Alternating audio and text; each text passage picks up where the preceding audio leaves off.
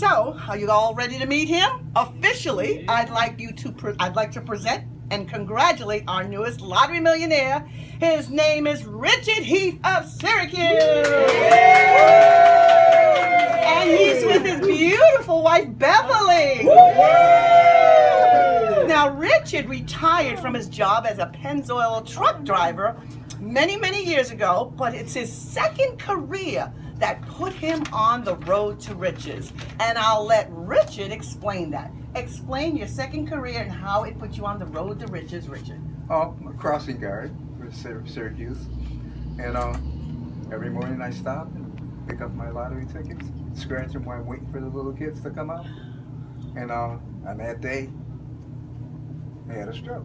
wait, wait, wait, hold up with the stroke. So you came into the mobile mart and you told me they already know you. So they already had your $10 worth of Win for Life tickets because you love this ticket. Right. They had it all ready for you. So you bought some tickets for your wife right. and you got your tickets. You got in the car. You went over to the job. You sat down. Now, out of the five that you bought, $10 worth, which number was this ticket? It was the third ticket. The third ticket. So show us your scratching technique. So what happened that day? Well, my technique is I scratch the bottom first, then the sides. Then I start over here and work down. Then I got to here, and I had two lives.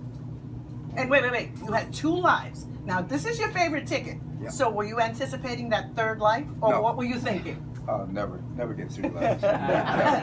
so what happened? I got the three lives. Then I went over here, did the same thing, finished scratching those. then I came back to this. I still didn't believe. You saw three lives, and you did not believe that you hit the jackpot. No. I didn't. Oh my goodness, what were you thinking? What do you think the three lives meant? I wasn't thinking. are you going to move? Are you going to relocate? Are you going to? No, no, I love Syracuse. You love no, Syracuse. We're going to stay here, fix up the house. Okay, well, well, the wife of 38 years. What are you going to do with the money? Viva Las Vegas!